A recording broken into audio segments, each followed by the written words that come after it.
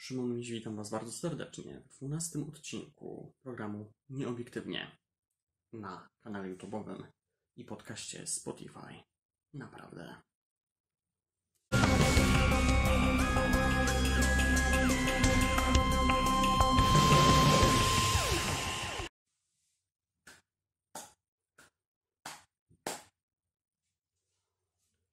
Nie wierzę, że to mówię. Nie wierzę, że to robię.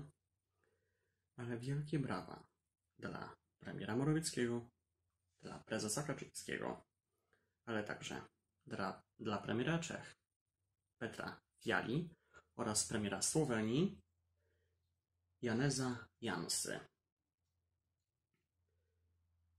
Nie będę ukrywał, że to jest bardzo, bardzo dobra decyzja, żeby jechać do Kijowa, do Ukrainy, spotkać się z prezydentem Wołodymyrem Zeleńskim.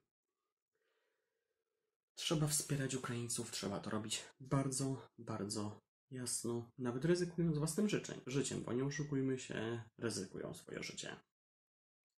Oczywiście, jeżeli by doszło do jakiegokolwiek ataku ze strony Rosjan,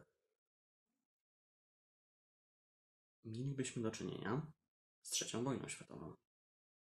Niestety, to by była trzecia wojna światowa. Atak na premierów trzech państw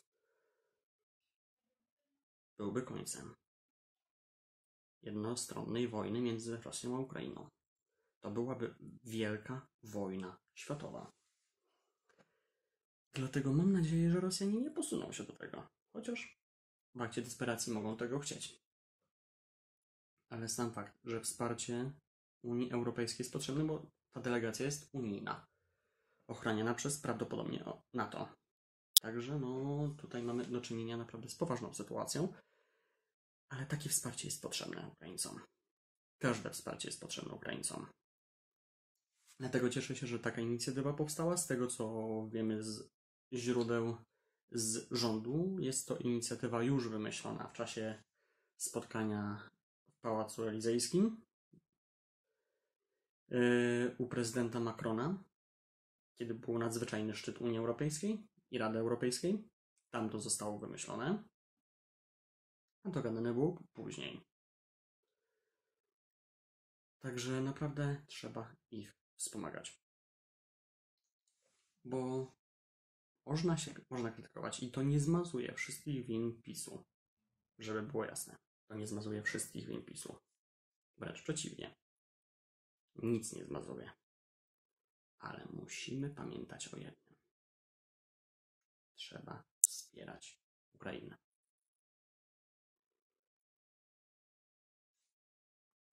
Drugim tematem dzisiaj jest bohaterska postawa dziennikarki rosyjskiej, która to na wizji postanowiła wyjść z transparentem, który jawnie pokazuje, że rosyjska telewizja, dokładnie pierwszy kanał, łamie.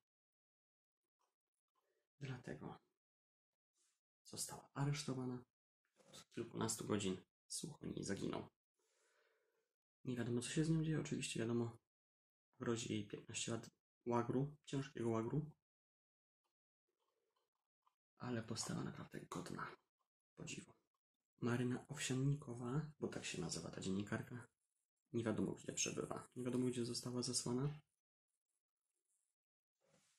Dlatego musimy wspierać ludzi, musimy wspierać Ukrainę, musimy wspierać Rosjan, którzy się buntują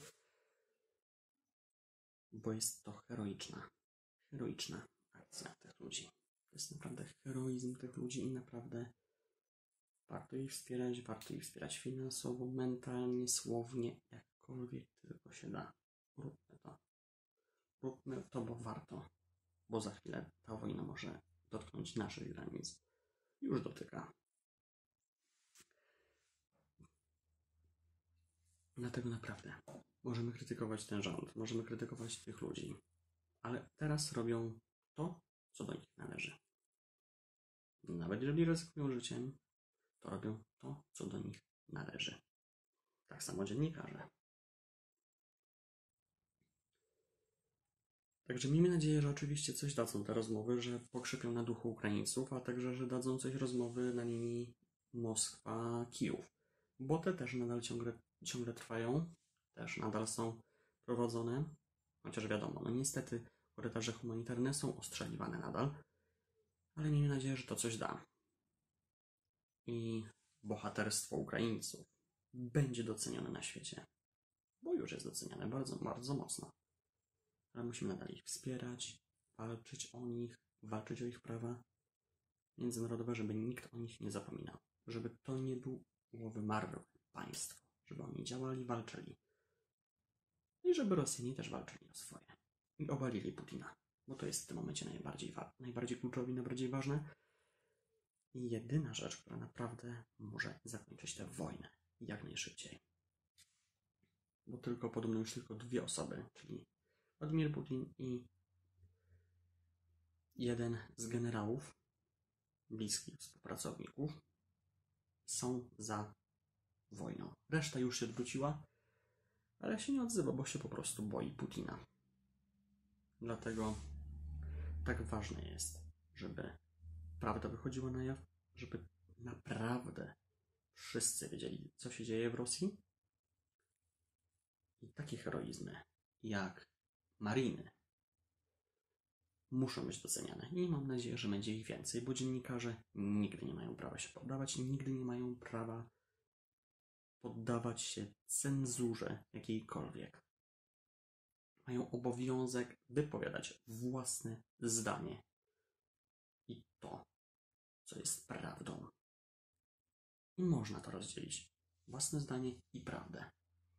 Ważne, żeby to nasze zdanie było podparte argumentami i prawdą zresztą też. Dlatego, mimo że zawsze krytykuję ten rząd, zawsze krytykuję Morawieckiego, zawsze krytykuję Kaczyńskiego, tak w tym momencie ich postawę, ale także premiera Czech i premiera Słowenii trzeba pochwalić. Bo to jest postawa godna szacunku, też zresztą uzgadniana przez całą Unię Europejską. Oni pojechali.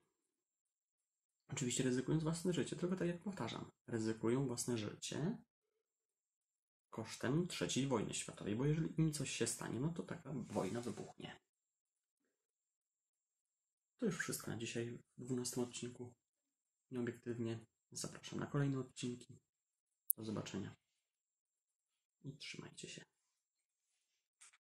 Informacje na bieżąco na naprawdę.blog oraz na fanpage'u na Facebooku. Śledź wszystkie informacje o Ukrainie i inwazji Rosji, także na YouTubie i Spotify. Specjalne odcinki programów nieregularnie będą nadal nadawane. Śledźcie je bez przerwy na, na, na moich social mediach. Do zobaczenia w kolejnych odcinkach.